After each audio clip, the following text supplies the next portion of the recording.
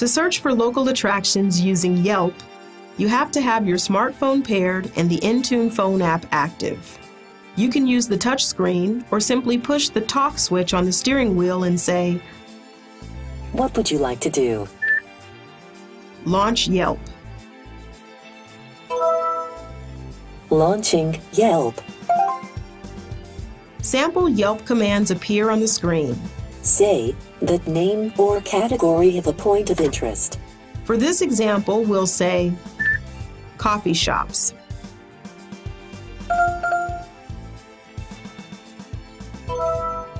Say the list number of the one you want, or say none of these. We'll say number one. Showing the results for coffee shops. Yelp will provide a list with ratings, reviews, distance, and relative cost. You can tap any one of those. And like using Yelp on your smartphone or home computer, you'll get more details. Tap the map icon if you want to see where it is. Then you can press Go To if you want to program it as a destination. Or you can tap the back arrow to go back.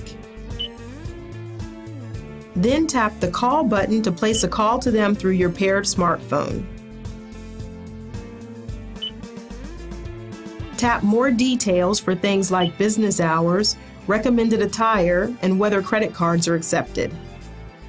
When the vehicle is stopped, you can go back once more and press Read Reviews to see what other people thought.